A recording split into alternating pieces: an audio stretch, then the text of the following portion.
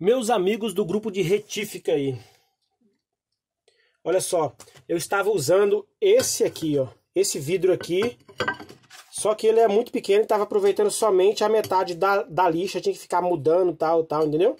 E aí o trabalho não estava rendendo. Até hoje não consegui retificar a minha planinha. Mas agora eu tenho que retificar de um jeito ou de outro. Não só ela como outras, né? Aí isso aqui vou descartar. Porque já era. Já deu o que tinha, tinha que dar. E eu achei esse vidrinho aqui, ó.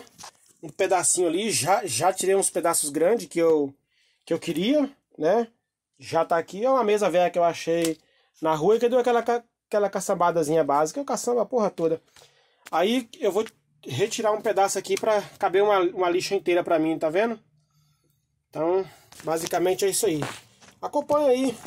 Quer acompanhar? Vamos acompanhar aí esse, esse corte aí desse vidro aqui. Vamos ver aqui, melhor posicionamento para vocês verem aqui. Eu não sei vocês, mas eu acho esse barulhinho do, do vidro cortando na marca, eu acho muito legal. Bom, eu passo um querosenezinho básico aqui, né? Querosenezinho básico. Dá uma passadinha de querosene aqui e tal. Muito doido. E aí, eu venho aqui, ó. Ó o barulhinho, ó. Como é que esse barulhinho é legal, ó. Ó. Tuque.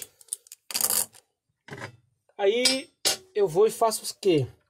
Eu pego um tubinho de caneta, coloco aqui, plásticozinho, né? E pego outro plástico e coloco outro aqui.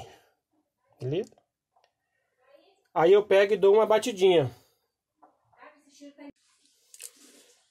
Aí depois que eu coloco o plástico, eu dou as batidinhas aqui, ó. Tá vendo?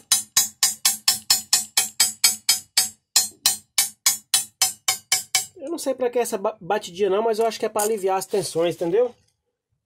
Eu já vi eu fazendo assim, tenho feito e tem dado certo. Aí eu venho, ó. Só dou uma forçadazinha de leve aqui. Ele já separa. Aí esse pedaço aqui eu descarto aqui no chão aqui. E agora eu vou pegar e vou cortar o outro pedaço aqui pra mim. Deixa eu ver aqui.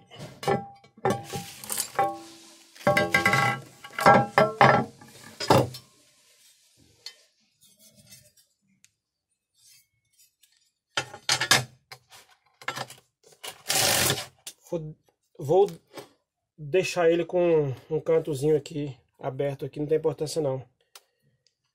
Passa querosene novamente. Essa querosene é bom pra caramba, facilita o corte, facilita muito o corte. E agora, olha o barulhinho de novo, ó. O barulhinho do... Ah, é.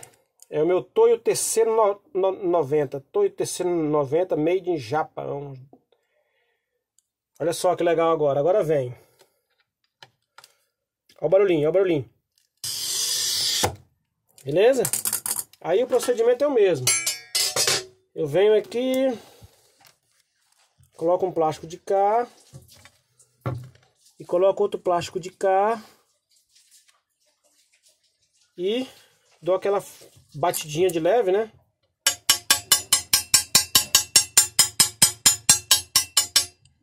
E dou uma, uma forçada assim, ó, nas laterais aqui, tá vendo aqui, ó? Eu só forço, só que eu forço mais pelas pontas aqui, ó.